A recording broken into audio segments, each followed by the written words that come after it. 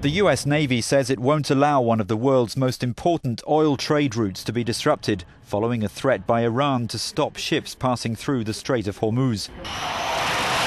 A spokesperson for the Fifth Fleet, based in Bahrain, said the free flow of goods and services through the channel was vital to regional and global prosperity.